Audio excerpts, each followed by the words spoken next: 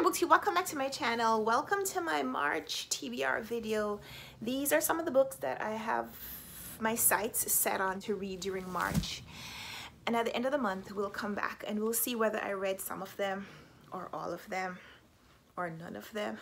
While I didn't quite stick to my TBR plans in February, I was quite fine with that. And I'm allowing myself that freedom this month as well. I have about 20 books that I have set aside that I'm thinking about reading during March.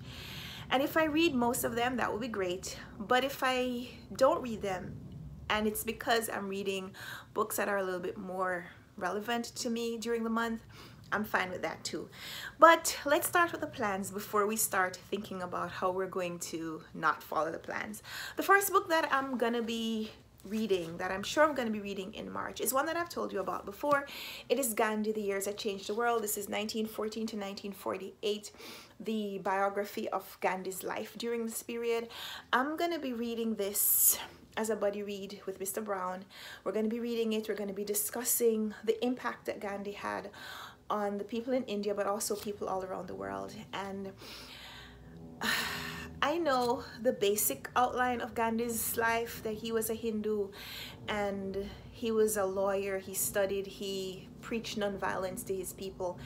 And through his acts of hunger strikes and passive resistance he was able to help affect change for billions of people in the world and I want to know more about him. This book is over 800 pages long and so this is the book that we're reading for the March of the Mammoths which is the challenge to read books that are over 800 pages during March.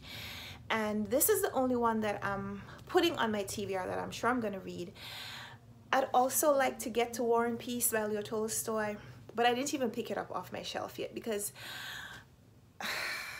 I want to see how the month shakes out before I add another mammoth to my TBR. I don't want to set myself up to fail my TBR plans.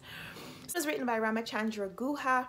He's written another biography of Gandhi's life before this period, but we're starting here because we're not as interested in the period of his life where he was in South Africa, even though I understand that that is what leads him to this period of time we want to read this one first. So this is the one book that I'm sure I'm going to start reading in March. In fact, we're starting it today, March 1st other books that I have. Most of these are books that I got from the library, so I'm gonna try to see how many of them I can read before they're due back. I have Less by Andrew Sean Greer, which is a 2018 Pulitzer Prize winner, and this one is about a novelist, a middle-aged man who gets invited to his ex-boyfriend's wedding and starts contemplating the choices that he's made in his life and what he needs to do is to start getting some wins. I'm looking forward to reading a book about a novelist and especially a Pulitzer Prize winner. I also have Crazy Rich Asians by Kevin Kwan on my TBR. I'm reading this for a challenge where I need to read a book that was adapted to a movie. And I know there's been a lot of hype about this book and its sequel and the movie. And is there a sequel to the movie as well? But I haven't read it. And I finally picked this one up from the library. And this one I don't need to tell you the synopsis, but I'll tell you anyway because I don't know. It says when New Yorker Rachel Chu agrees to spend the summer in Singapore with her boyfriend Nicholas Young, she envisions a humble family home and quality time with the man she hopes to marry, but Nick has failed to give his girlfriend a few key details. One, that his childhood home looks like a palace. Two, that he grew up riding in more private planes and cars. And three, that he just happens to be the country's most eligible bachelor.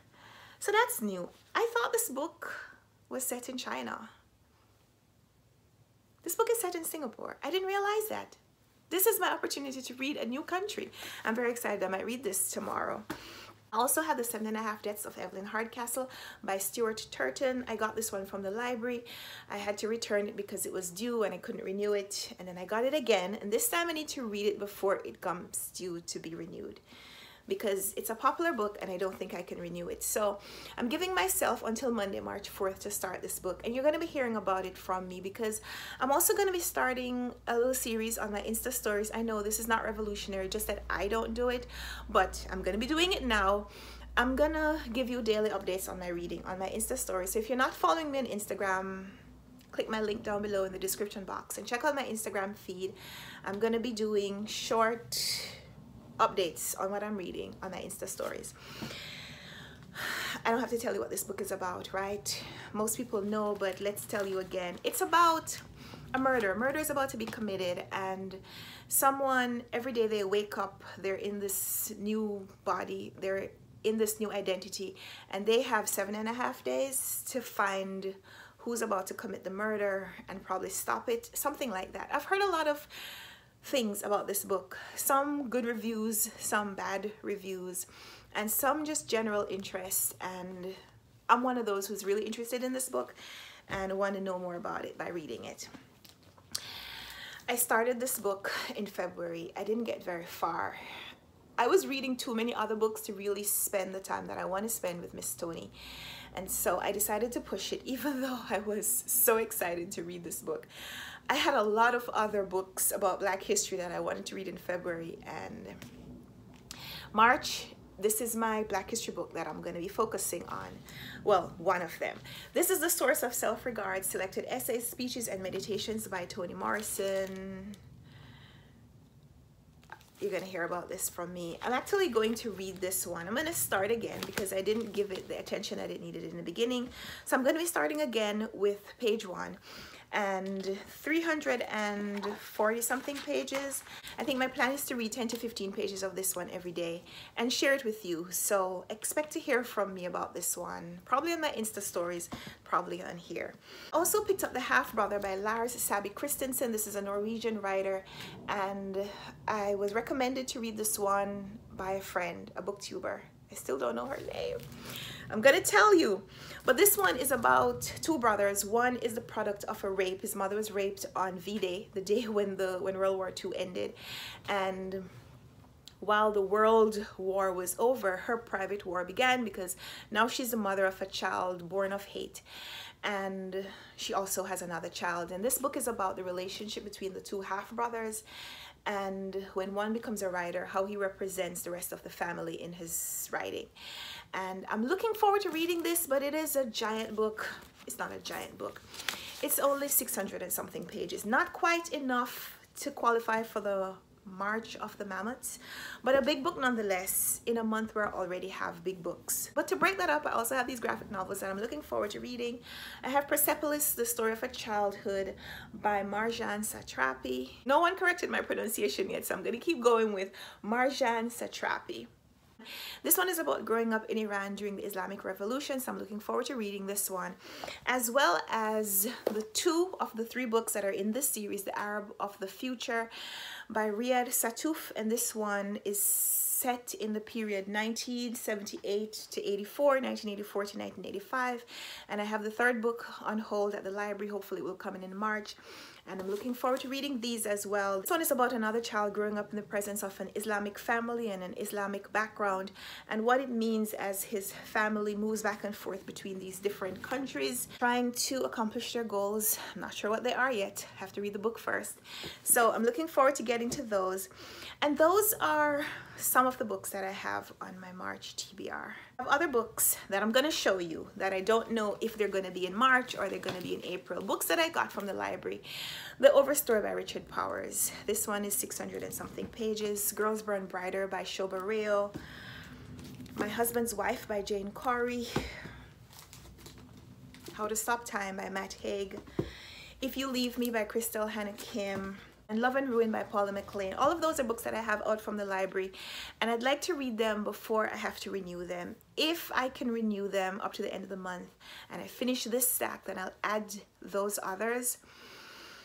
I also have Man Booker books. I have, I think, six Man Booker books that I need to read in March so I can catch back up to my schedule. One of those includes the book club read, which is The Sea the Sea by Iris Murdoch which I don't yet have, but I need to get because the book club discussion is due on March 25th. So more on that later. And oh, if you want to get a copy of the schedule, check out the link in my Etsy shop.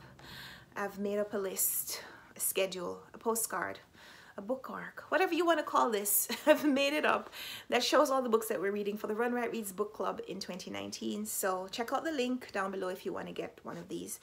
And so yeah, I also have NetGalley books because I pushed my NetGalley purge away from February. I didn't get to any of those books. So I'm not going to tell you that list again because I've told you that list now for two months and I made absolutely no progress on it in February. But in March we're getting back to that. I have one more book. One more book that I started in February didn't get very far I want to read in March just because it's so important and that is James Baldwin's Go Tell It on the Mountain. I got this one as well as The Fire Next Time from the library and in February I only managed to read The Fire Next Time but I'm so excited now to read all of James Baldwin's writings that since I have this from the library, I want to read it before I have to return it. And also it's a brand new book. How often you get brand new books from the library? And I started it in February. I got to maybe page five. I wasn't able to focus on it. I just didn't have time to read anything else. And so I'm going to be reading this in March. So we're adding this to my list of definites as well as my list of maybes. There are a lot of books. Let me know in the comments down below what your March reading plans are. If you've made a March TBR video, leave me a link down below and I'll go watch it. Otherwise, tell me the book. If there's a book that you started in February and didn't get to finish and you're pushing over to your March TBR, I'd love to hear that as well. I'd like to know that I'm not the only person who didn't read all the books that they started reading in a month and are carrying things over to the next month. This is all about community. I need to know that there are other people like me. So if that's you, let's talk in the comments. Give me a thumbs up if you like this video. Please subscribe if you haven't already. And we'll talk down there. So until next time, until I get over my tendency to hold up stacks of books that are bigger than I can hold. Until then,